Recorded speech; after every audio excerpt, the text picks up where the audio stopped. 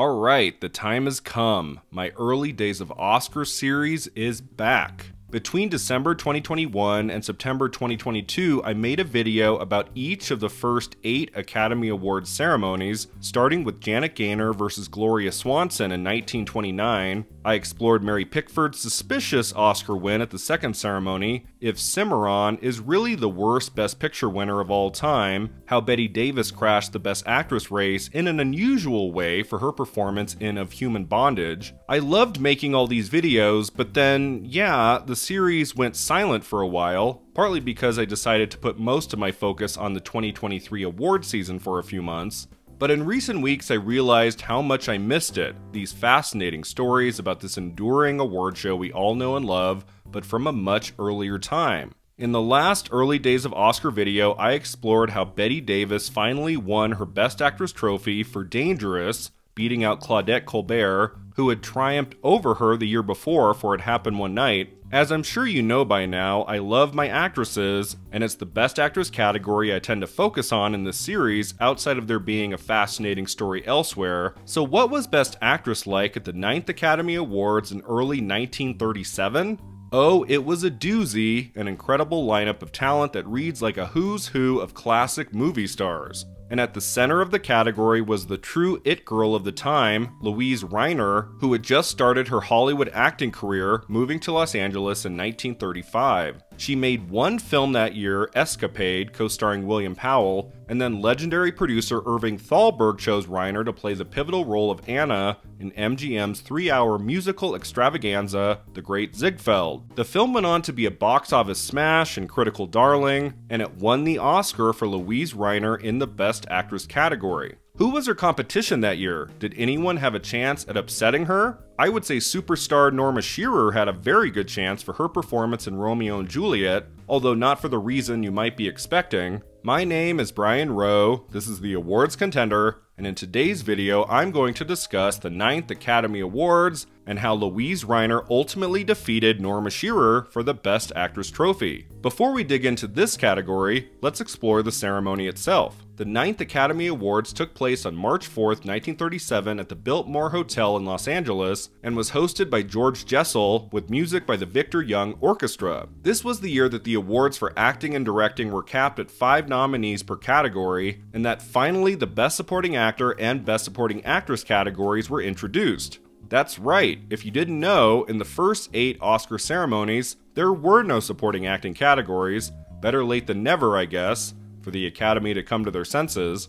The first Best Supporting Actor winner was Walter Brennan for his performance in Come and Get It, a lumberjack drama directed by both Howard Hawks and William Wyler. This proved to be Brennan's first of three Oscar wins for Best Supporting Actor, making him the only actor in history thus far to win three Academy Awards in the supporting category, and only one of three male actors to win three gold trophies, Jack Nicholson and Daniel Day Lewis being the others, of course. What a fascinating career this character actor had, I might want to explore in an upcoming video. The first Best Supporting Actress winner was Gale Sondergaard for her debut performance in the epic historical drama Anthony Adverse, directed by Mervyn LeRoy. She was a prolific actor in films for the next decade Plus, during which she received a second Supporting Actress Oscar nomination for 1946's Anna and the King of Siam. Sadly, when her husband Herbert Biberman was accused of being a communist by the House Un American Activities Committee, her film career stalled all the way until the 1970s. Sondergaard's career in movies and TV ended with mostly a whimper, unlike the very triumphant beginning she had with her Oscar victory for her villainous turn in Anthony Adverse. This film was one of the most celebrated at the 9th Academy Awards, receiving seven nods total, the most that year,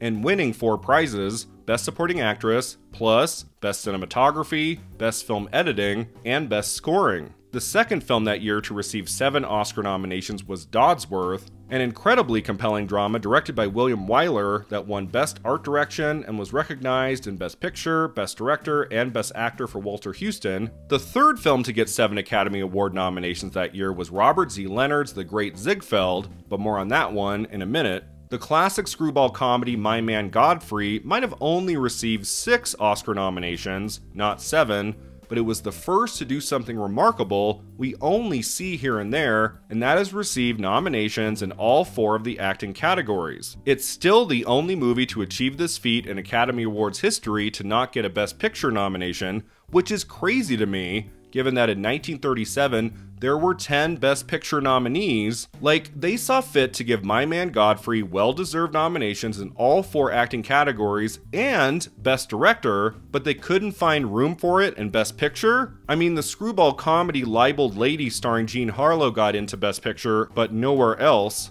Like, what? Truly bizarre. Another big winner that night was the story of Louis Pasteur, a biographical drama about the scientist who developed major advances in microbiology. The film won Academy Awards for both Best Original Story and Best Screenplay, which seems a little fishy to me, I don't know about you and it won Best Actor, Paul Muni beating out heavyweights like Gary Cooper, William Powell, and Spencer Tracy. This was Muni's only Oscar win in a fascinating career that netted him five Best Actor nominations across 30 years. Now, correct me if I'm wrong, but this has to be the only time somebody was Oscar nominated for their first performance and their last performance, Muni getting into Best Actor for his 1929 film debut, The Valiant, and for his 1959 swan song, The Last Angry Man.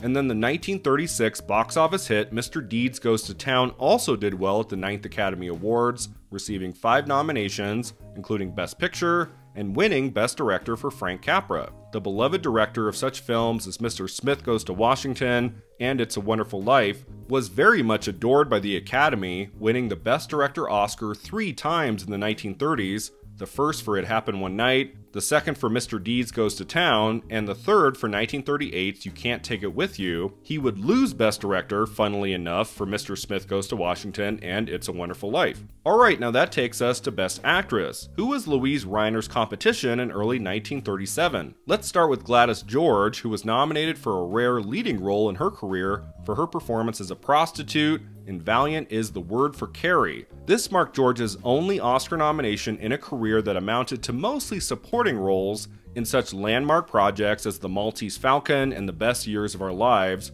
She was very prolific, acting in films from 1919 to 1953, and she was also an in demand Broadway star as well. Next up is Irene Dunne, who was nominated for her first comedic role in Theodora Goes Wild about residents in a small town outraged by a risque novel. Were you raised in a small town by two maiden aunts? No. Have you taught Sunday school for the past 10 years? No. Have you played the organ in church since you were 15? No. Well, I have. Dunne was a titan in the industry, probably one of the best known actors of the time who never won an Academy Award. She was nominated five times in a career of more than 40 films, including Cimarron, Love Affair, and the comedy masterpiece The Awful Truth. She probably came closest to a win for The Awful Truth, given that it was nominated for Best Picture and won the Best Director Oscar for Leo McCarey. Plus, Dunne's closest competition in early 1938 was, who else? Luise Rainer. They weren't going to give Rainer a second win two years in a row, right? Oh, just you wait. But yeah, the year before, Irene Dunne had no chance at winning for Theodora Goes Wild, mainly because the Academy didn't fully embrace it, only giving it one other nomination in film editing. Sadly, Dunne never took the gold trophy in her long and celebrated career, but that does mean one good thing here on the awards contender an Irene Dunne elusive Oscar video. Anyone? The third Best Actress nominee to talk about is Carole Lombard, who was one of the many actors recognized at the 9th Academy Awards for My Man Godfrey, a beloved comedy of the 1930s. Oh, Godfrey, I'm terribly sorry. That's all right. I'd never brought you here if I thought they were going to humiliate you. I'm terribly grateful. This is the first time I've ever beaten Cornelia at anything, and you helped me do it. I would say she had a better shot at victory than Gladys George or Irene Dunne because My Man Godfrey got into so many categories including, as I said before, all four acting categories. Like, you would assume one of those actors had to win, but nope, my man Godfrey went home with zero victories, and the huge Hollywood star Carole Lombard lost Best Actress and what turned out to be her only Oscar nomination. Lombard, whose flourishing career was cut short at just 33 years old when she died in a plane crash, is remembered today as the definitive actress of screwball comedy and an icon of 1930s and early 1940s cinema. All right, Luise Rainer. Luise Rainer. The moment has come.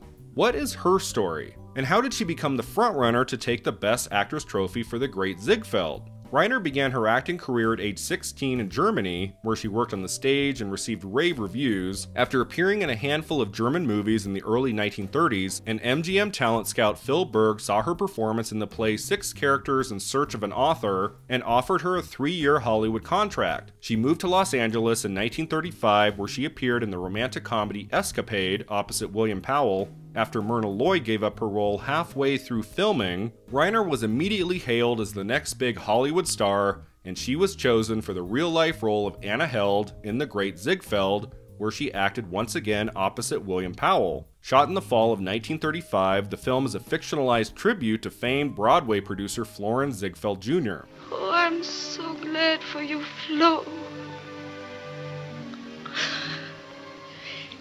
Sounds funny for ex-husband and ex-wife to tell each other how happy they are with. Now, famed movie producer Irving Thalberg felt that Rainer was the only actor in his studio roster who could play Anna. Her co star Powell said of Rainer, She is one of the most natural persons I have ever known. Moreover, she is generous, patient, and possesses a magnificent sense of humor. Following the film's world premiere in March 1936, The Great Ziegfeld earned nearly $5 million worldwide, a massive number at the time that resulted in a profit of close to 1 million. Most reviews were through the roof, many critics calling it the greatest musical biography Hollywood had ever made. Otis Ferguson in New Republic saying, The musical numbers seem as irresistible as Ziegfeld himself, and Frank S. Nugent in the New York Times noting that the film had more stars than there are in the heavens. As I mentioned earlier, The Great Ziegfeld received seven Oscar nominations, and it won three, including Best Dance Direction, and the biggie, Best Picture. One person who didn't think she was going to win Best Actress? Luise Rainer, of course. Even though she was in a blockbuster hit that received tons of nominations, on the evening of the 9th Academy Awards, Rainer stayed home. Who would Rainer might have thought she'd lose to? One very formidable competitor, I would say, is the last Best Actress nominee to talk about, the iconic Norma Shearer for her performance in the 1936 adaptation Romeo and Juliet from director George Cukor, in which he played Juliet, if you can believe it, and Leslie Howard played Romeo. Parting is such sweet sorrow that I shall say good night till it be morrow.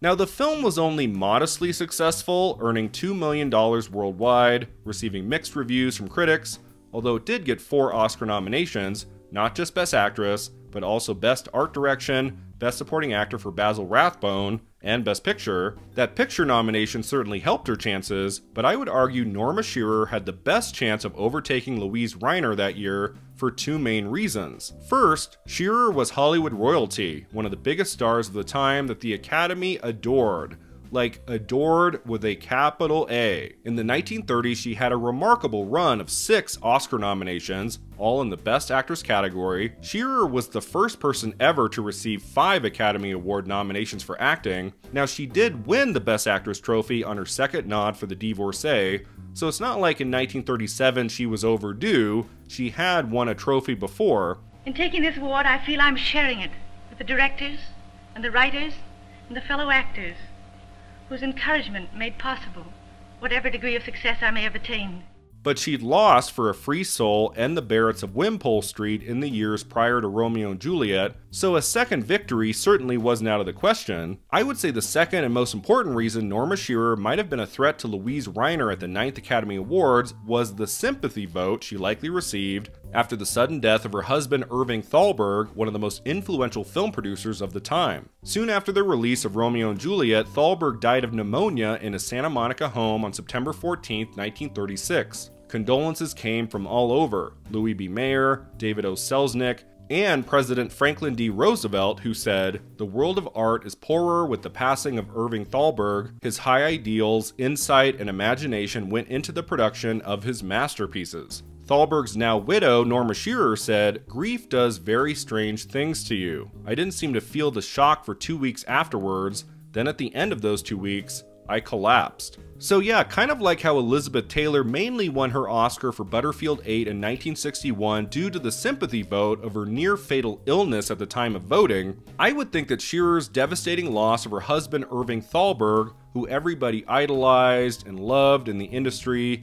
might have netted her some sympathy votes from Academy members just a few months after his untimely passing. The mix of her strong performance in Romeo and Juliet, the Best Picture nomination, the Academy's love for Shearer, and the sadness over her personal loss might have earned her a second Best Actress trophy, it would make sense to me, honestly. She went to the ceremony on the arm of Louis B. Mayer, making her first public appearance since her husband's death. However, it wasn't meant to be for Norma Shearer, it was Luise Rainer, of course, who was announced as the Best Actress winner at the 9th Academy Awards, why did Rainer win over Shearer? First off, I have to mention this. Shearer in Romeo and Juliet is a 34 year old playing a 16 year old, and that's something that possibly turned off some Academy voters. And then Rainer had tons of things going for her. She won Best Actress from the New York Film Critics. Her movie The Great Ziegfeld was one of the most celebrated of Oscars night, winning Best Picture. She was the new it girl in the industry. I think that played a big part too. And in The Great Ziegfeld, she gives a grandiose, emotional performance of the highest order,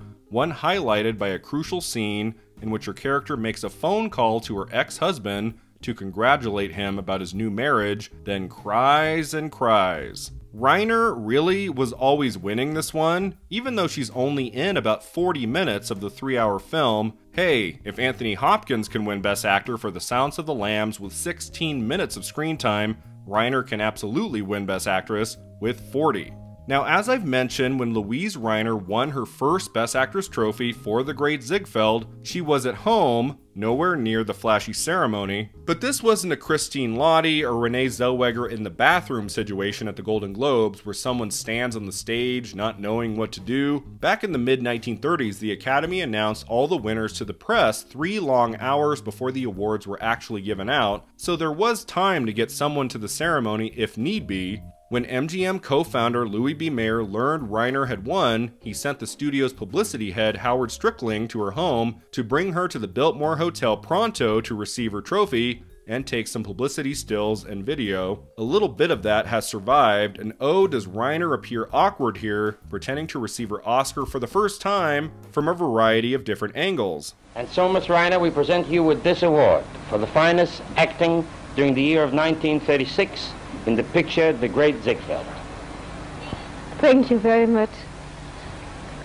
I'm very happy that I got it. But as you'll come to learn in the next early days of Oscar video, Luise Rainer would have to get comfortable accepting Oscar trophies because the following year she was nominated for Best Actress again for 1937's The Good Earth, and she won again, making her the first person in history to win back to back Oscar trophies. How in the world was she triumphant again so soon? Who was her competition in the category that time? And why the hell, after winning two Academy Awards in just two years, did Luise Rainer quickly thereafter abandon Hollywood? Get ready, part two of the Luise Rainer Oscar story is coming. Thanks so much for watching. If you enjoyed this video, don't forget to like and subscribe, and let me know in the comments below who you think should have won Best Actress at the 9th Academy Awards. Was Luise Rainer the right choice for the Great Ziegfeld, or should Norma Shearer or someone else in the category have taken it? We'll see you next time at the awards contender.